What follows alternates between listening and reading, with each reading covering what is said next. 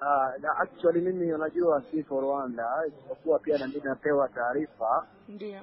uh, ambaye alikuwa haumu Alikuwa Jana alikuwa aya- alikuwa hajaumwa. Jana, alikuwa uwanjani kafanyisha mazoezi vizuri, Ndio.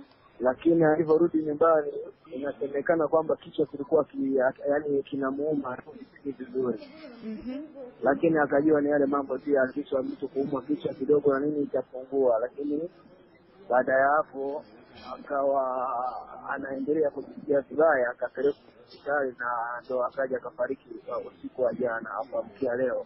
Usiku wa Ila kwa taarifa ya ila kwa taarifa ya ya ya ambayo nimepata ni kwamba alikuwa anaumwa, eh, alikuwa labda anasumbuliwa na moyo, Ndio. kwa kuwa mpaka sasa hivi sijapata yani sijapata ile confirmation vizuri, kwa sababu sasa hivi Ndio.